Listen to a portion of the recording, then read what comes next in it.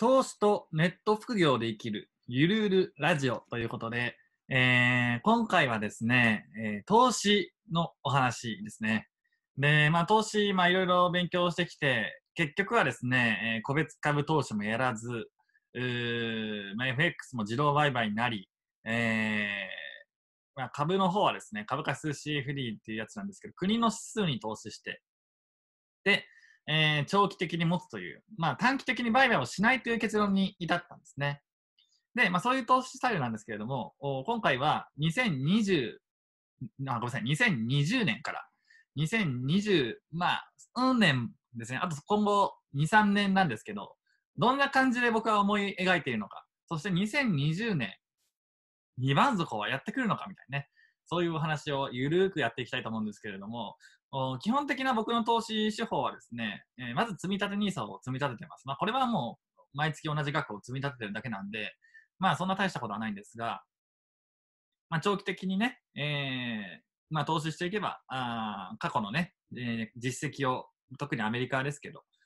アメリカ僕中心に投資してるんであれですけど、アメリカの株価を見ると、まあ長期スパンでは右肩上がりであると。いうのをですね、えーまあ、よく言われることですけど、まあ、そこに積立 NISA、プラスちょっと投資信託ですね。積立 NISA 枠全額使って、まあ、ちょっと余ってる、余ったお金をささらに投資信託で投資っていうことですね。プラス、株価指数 CFD っていうやつなんですけど、これはですね、株価指数にレバレッジをかけられるんですね。ちょっと危険な投資でもあるんですけれども、まあ、レバレッジかけた方がリターンは大きいです。うまあ、当然リスクも大きいわけですけど、そのレバレッジを使って株価数 CFD っていうのに投資してます。まあ、YouTube でも戦略公開してますけどね、ノートとかブログでも散々言ってるんであれなんですけれども、まあ、あのー、イギリス100とアメリカの S500 ってやつとですね、米国30っていう、まあ、その3つのうち、まあ、アメリカは、あまあ、正直アメリカどっちでもいいんですけども、えー、米国 S500 を睨みつつ、まだね、あの、そこまで投資できてないんですけど、ちょっと難しい状態なんで、まだ投資してないです。で、イギリス100に関しては、えー、毎月投資していって、今回下落してる時に、えー、2週間に1回とか、あ1週間に1回とかの時もありましたけど、ちょっと投資ペースを上げていきながら、あ対応してるということですね。で、あと1個はトラリピって言って、FX の自動売買です。もう設定はしてあって、あとは勝手に売買してくれますってやつなんですね。で、えー、2020年はトラリピ中心で行く予定だったんですけれども、新型コロナウイルスっていうのが発生しました。すごく経済的に大きいダメージを与えまして、えー、これで戦略を変更せざるを得なくなったんですね。で、えー、何に変更したかというと、株価数 CFD ってやつなんです。で株価数 CFD なんでそうしたかっていうと、今株価すごい安くなってるんで、えー、今あ頑張って買って5年か10年放置すれば上がるだろうという見込みです。結構単純です。もうざっくり言うと本当にそれなんですね。でも本当にそうなのかっていうのが、まあ、大事なんですけれども、おじゃあ本当にそうなのかと、どうなのかというのを考えてまして、まあ、僕結論としましては、アメリカにまだ投資してない、そんなに投資してない理由もあるんですけれども、もう、まあ、ごめんなさい。アメリカにそんなに投資してない理由も、まあ、それなそれなんですけど、2番底っていうのは、僕はやってくると思ってます。やってくると思ってますけど、まあのまあ、いくつか条件があるんですけども、えー、現状ですね、今これ撮ってるのが2020年5月なんですけど、3月に一旦ガーンと下がりました。ニューヨークダウはですね、えー、2万9000ドルぐらいあったものがですね、えー、1万8000ドルまでいったかな。一時行って、そこから戻ってきて、今2万4000ドルとか2万3000ドルを行ったり来たりしてる状態ですね。その辺、うろちょろしてるんですけど、えー、やっぱり2番底っていうのはやってくると思います。ただ、その1万8000ドルを下回るのか、そこまでいかずに2万ドルぐらいでとどまるのかは、はっきり言って分かんないです。ただですね、僕はなぜ2万底あると思ってるのかっていうと、おやっぱり新型コロナウイルスですね、えー、経済、まあ、緊急事態宣言みたいなロックダウンですね、海外でいうと。そういうものがなくなって、えー、経済活動が始まったところでですよ。始まったところで、再び感染拡大する可能性があるというのは、韓国の事例からも明らかです。でそうなったときに、やっぱり厳しいんじゃないかっていうところ。っていうのが僕の一番の考えですね。えー、まあ、この第2波って言われるやつですけど、それが来なければ、おそらく2番底って言われるほどのものはなく、まあちょっと落ちるかもしれないですけどね。ちょっと落ちて、もうまあまあ、あこのまま復活するんだったらいいやぐらいで買う人はいるだろうと見てるんですね。なんですけど、2番、2番底じゃないや、第2波ですね。経済活動があ始まって、また、えー、すごい感染っていうことになった場合に、これはちょっと恐ろしい事態だなと思ってまして、まあ、株価的にも1回1万8000ドルからね、復活してるんですけど、第2波があると、じゃあ第3波もあるのかみたいなね、話になるんで、ちょっと不安が底知れぬ感じになってくるんで、そうなった時は非常に厳しい、なんていうか、2番底がやってくるような、僕は予想なんですね。で、じゃあ第2波、僕、来る可能性、僕は高いと思ってるんで、えー、まだそこまで買ってないわけですけど、まあ、2番底っていうのがすごく今難しい状態で、えー、まあ、よく言われるのは、2番底夏ぐらいにやってくるんじゃないかと。まあ、夏枯れ相場とか言われてまして、夏に、えー、ね、えー、まあ、株は下がるんだろうみたいなね、読みがあるわけですけど、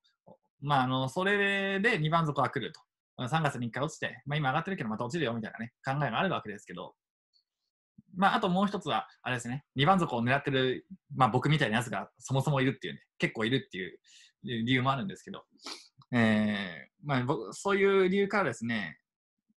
2番底やってくるから、まあ、あこの夏から秋、まあ、秋もね、ちょっと上がるかちょっとわかんないんですよね、今回ね。えー、なんですけど、お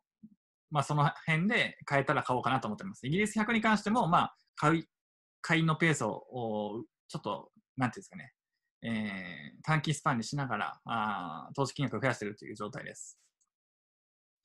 で、えーまあ、僕の株価指数 CFD の投資って、えー、これは2020年のことだけ考えてるわけじゃなくて、もうもっと長期なんですね。まあ、言ってしまえば2025年ぐらいまでにプラスになってくればいいと思っています。はい。あの2020年、21年でもあの運用益出そうと思ってません。2025年ぐらいまででなんとか上がってくれればいいと。で、ワクチンが開発されれば、あコロナウイルスね、えー、多少は良くなるだろうっていう話なので、まあ、別にその後までずっと持っててもいいかなと思ってます。はいそうすれば多少は上がるだろうっていう、それぐらい長期で見てますね、今回。えー、でもどちらにしてもワクチン開発されたら上がるだろうっていう考えで、えー、投資します。ただ、1個だけ気をつけなきゃいけないのは、あ今、買った後に2番底、あるいはもっとすごい、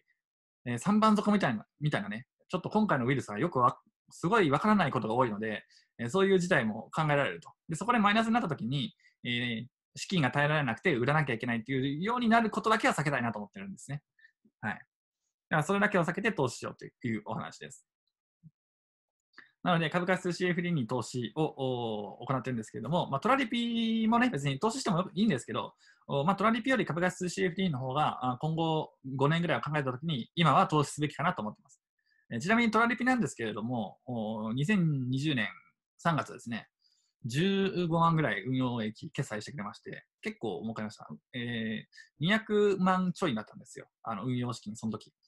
210万ぐらいだったかな。200万ちょいで、えー、1ヶ月で15万。で、4月が3万8000ぐらいだったかな。で、5月はちょっと途中ですけど、おまあ、今のところ3万円ぐらいのペースっていうことで、利回りすごいですよね。結構すごいなと思ってて。えー、まあ、240万なんで、まあ、20万1年で運用益出してくれば利回り10%で、去年はですね、1年間で、えー、もともと運用額をですね、200万出し200万もなかったんですけど、1年間で9万円ぐらいだったと思うんですよね。はい。もっといたか ?10、ん？でも、でもそもともと30万だったんで、まあ、そんなもんだと思いますけども、あの1ヶ月で1万円、えー、200万運用でも1万5000円ぐらいいったら結構いい方だったんですよ。1万5000円決済があれば、結構今月は良かったかなっていう感じだったんですけども、今年はですね、もう荒れに荒れてますんで、えー、15万もありましたし、3, 3万とか、えー、普通になりそうですね。えー、ただ、ロスカットだけは要警戒ですけど、そこだけは警戒したいと思います。まあ、あのー、3月、結構上下動ありましたけど、まあ、3月ぐらいだったら、まあ、ロスカットはまだしないなっていう感じですね。っていう感じの投資をしてるんですけれども、えーまあ、今回投資の話したんですけれども、投資とネット副業できるっていう時に、ちょっと勘違いが多いなと思ってて、えーまあ、こういう発信してると、投資とネットで布教するのどっちが儲かるんですかとかよく言われるんですけど、投資の方が儲かるんですか？投資って大儲けできるんですかって言われるんですけど、あの投資って元本がないと全然無理ですね。無理です。えー、例えば1000万あればまあまああの運用益出せますけども、ネット副業の方が稼げます、基本的に。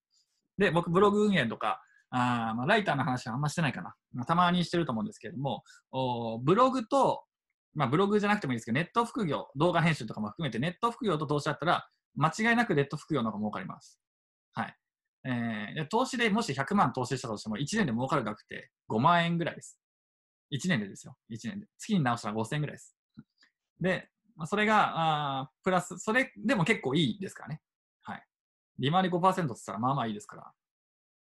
えー、投資ってそんなもんです。で、ネット副業は、普通に、えー、元本とかもなくですね、まあパソコン買ったりする人はいるかもしれないですけど、まあ基本的に何万円かの元本で1ヶ月5万とかね、10万稼げますから、はい。そういう意味では、あ今、もし生活が苦しくて、えー、生活を変えたい、人生を変えたいっていうんだったら、僕はネット副業をお勧めします。まあ、特にブログをお勧めしてるんですけど、えー、ネット副業をお勧めしてます。で、投資っていうのは、まあ、あくまで長期スパンなんで、稼ぐというよりは、なんていうんですかね、貯金ありますよね、貯金。100万円貯金してて10年後も100万ちょいしかないならないですけど、その貯金よりも、まあ、ちょっと増えたらいいかなっていう感覚です。はい、貯金が100万円だとしたら、まあ、投資で101万になれば OK ぐらいの、もうそう本当そういう感覚ですね。まあ、もっと稼ぎたいという気持ちは、あなきにしてもあらずですけど、稼ぐんだったらネット副業かなっていう気はしてます。で投資の方が、投資ってお何か大儲けが借金かみたいなね、えー、やっぱりドラマの影響なんですかね、あれはな。なんちゃら金融道みたいなドラマの影響なのか知らないですけど、やっぱそういうイメージがありますね。僕からすると全然そうじゃないですね。むしろネット普及の方がガツンと当てられるなという印象です。はい。えー、ということで、えー、今回はですね、投資、今やってる投資、株価数 CFD の話と、今後2番底をどう考えてるのかっていう話と、えー、よくある投資とネット副業の考え方について話しました。あ特にですね、本当にネット副業、僕結構おすすめですね。今、リモートで、えー、仕事がね、そんなにないっていう人もいるかもしれないんで、えー、ぜひ、ね、ちょっとでもかじってみて、1円でもね、1円とは言わないですけど、まあ、1000円、100円、1ヶ月でも稼ぐと、ちょっと変わります。えー、その馬鹿にされると思いますけどもね、あの意外と1000円稼いだってどうにもなんでだろうとか言う人いるんですけど、もう全然そんなことなくて、えー、100円とか1000円、ネットで1回でも稼げば、あこんな感じで稼げるんだっていうコツをつかめるんで、そこからもう簡単に結構増えていきますね。まあ、10万円ぐらいまで増やすの結構大変ですけど、月1万とか2万ぐらいまでだったらサクッといきますよ。最初の1回をやれば。あ、こんな感じで稼げるんだって言って2、2 3回やるじゃないですか。そしたら2000円ぐらいですよね。あ、分かった。こういう感じでやったら、あもっと稼げるかもしれないみたいな、あなんていうんですかね。えー、1、2回案件をこなすと、どんどんアイディアが出てくるんで、それでずっとやっていけば、普通に1万、2万まではいきます。はい。えー、なのでですね、えー、ぜひネット副業、いい機会です。ぜひやってみてください。まあ、投資とネット不況の情報をね、ゆるく、ゆるくではないですね。このラジオ以外はゆるくじゃないですけど、おまあ、僕としてはゆるべに公開しております。何を言ってるのか分からなくなりましたね。はい。ということで、えー、まあ、ぜひね、えー、そういう情報とか参考にしていただきたいと思います。もうゆるゆるラジオなんで、本当にこのゆるい感じで何言ってるのか分かんないような感じでいきますんで、よろしくお願いします。ということで、今回は以上です。ありがとうございました。